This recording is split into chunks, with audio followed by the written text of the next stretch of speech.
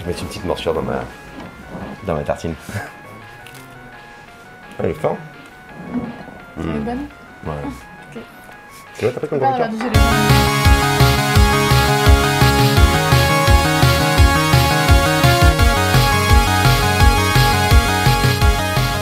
Salut Maud Salut Olivier. Bienvenue, premier Tartine Tech. Donc, toute nouvelle émission. Tu as l'honneur et la chance d'être la première invitée. Donc tu vas un peu bêta-tester le concept. J'en suis ravie.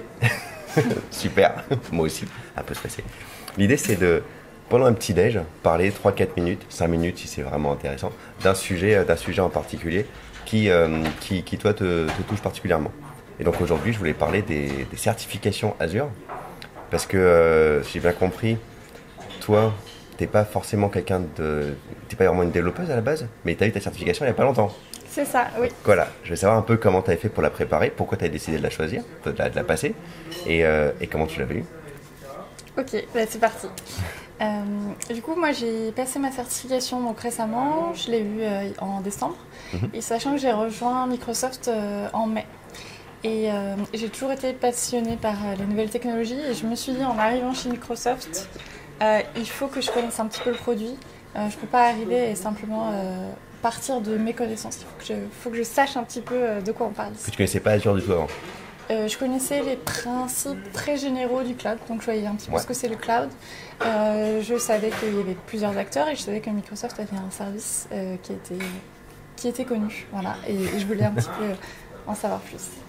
Ok, d'accord. Et donc, euh, qu'est-ce que tu as fait pour, euh, pour préparer la certification Et puis pour l'avoir, tu l'as eu du premier coup d'ailleurs. C'est ça, oui. Nice. Donc, comment tu l'as préparé la certification? Euh, donc pour la préparer, j'ai fait plusieurs choses. Déjà, pour moi, la première étape, c'est de comprendre un, peu, un petit peu ce qu'il va y avoir dans la certification, quels sont les types de questions qui vont être posées. D'accord. Euh, donc je suis allée sur ce site internet, on va voir ici. Ok. Euh, et qu'est-ce que je regarde là Donc là, ce que tu vois, c'est une page, tu as la description euh, de la formation et de l'examen.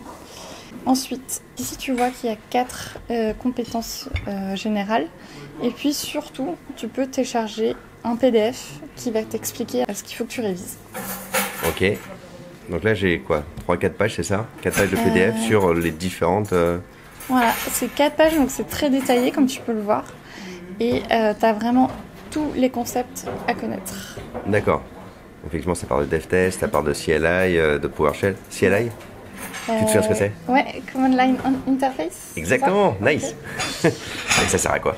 Euh, On va voir comme ça. Ouais, tu me, tu me testes. ouais, du coup, euh, donc la CLI, euh, c'est pour, euh, ça permet euh, d'utiliser Azure sans utiliser le portail. Donc notamment pour les développeurs, peuvent utiliser la CLI pour euh, écrire, faire leur code, euh, écrire leur code et puis euh, lancer euh, des, des actions sur la plateforme. Ok, ok, ok. Ouais, c'est bien, c'est bien, good Ok. enough. Super. Et Ah oui, juste une chose que je voulais ajouter là-dessus, Ouais. c'est que euh, ce PDF, il est mis à jour de temps en temps. Donc euh, c'est pas mal euh, d'aller voir sur, sur la plateforme juste avant de passer votre examen pour être sûr que vous avez toujours les infos à jour. ok, d'accord. Et alors, moi, j'ai passé la certification aussi. Et alors, j'ai pas utilisé ça, j'ai utilisé euh, une autre plateforme qui s'appelle Microsoft Learn, qui a un, un path directement sur Azure Fundamental. Tu l'as utilisé toi aussi? Oui, j'ai utilisé aussi parce que euh, c'est- c'était bien d'avoir la formation euh, théorique, de Mhm. connaître l'ensemble des concepts. Mais pour moi, parfois, ça paraissait un peu flou si j'ai pas pratiqué. Mhm. Et euh, MS Learn, c'est pas mal parce que tu as un petit peu des deux. Donc, tu as de la formation théorique et en même temps, à chaque fois, c'est couplé avec des exercices pratiques. Et notamment, dans ces exercices, tu peux tester Azure directement. C'est vrai que sur, euh, sur MS Learn, on, peut, on a des sandbox donc qui nous permettent de, de tester euh, les choses sur Azure, finalement des exercices, sans forcément avoir à mettre sa carte bleue et avoir son compte, euh, son, son compte qui tourne sur Azure. C'est ça. Donc là, par exemple, on est sur, effectivement sur la.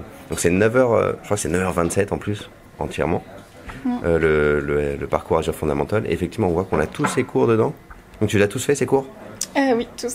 Ah, C'est là-dedans que tu as appris ce que c'était que la CLI. Ouais, ouais, ouais, notamment. Super. Et c'est vrai que là, on va pouvoir voir un petit, euh, un petit cours vite fait où il y a la, il y a la sandbox. Effectivement, on arrive sur un cours sur comment hoster un website. Et j'ai effectivement 3h54 de, de sandbox que je peux utiliser. Et donc quand je vais sur le portail Azure, c'est pas ma, ma souscription à moi. Super. On va pas aller se loguer directement. Mais l'idée, elle est là. Ok. Top. Et donc, euh, là, toi, tu as passé la Z900.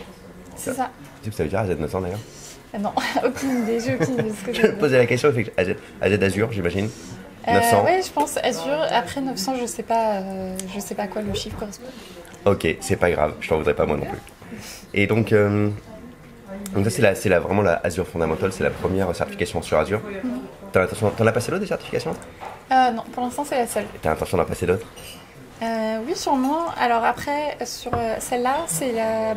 c'est celle qui est idéale pour euh, les personnes qui sont pas développeuses, euh, parce que c'est vraiment des principes qui peuvent être compris par, par tout le monde. Dès que tu t'y intéresses un petit peu, tu n'as pas besoin de pratiquer vraiment le code. D'accord.